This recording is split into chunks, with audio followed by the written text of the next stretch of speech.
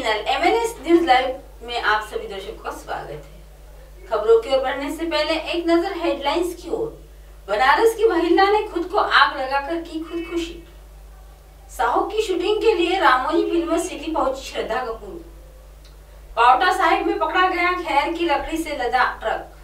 सरायढेला थाना क्षेत्र के शिव शक्ति विहार कॉलोनी में उस समय अफरा तफरी मच गई जब एक महिला ने अपने घर पर ही तेल छिड़क कर खुद को आग लगा दी। घटना के बाद पूरे इलाके में सनसनी फैल गई और घर के पास लोगों की भीड़ इकट्ठी हो गई।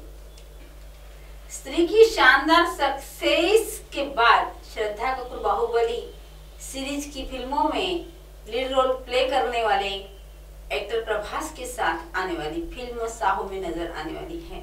फ़िल्म की शूट के लिए श्रद्धा रामोजी फ़िल्म सिटी पहुँच चुकी हैं।